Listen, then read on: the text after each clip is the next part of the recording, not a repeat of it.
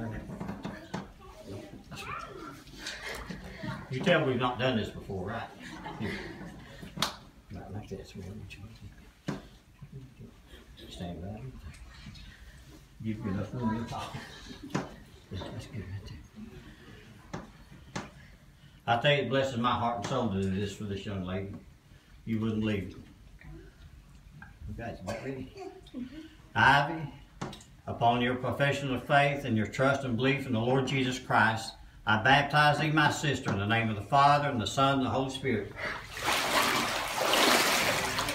Amen.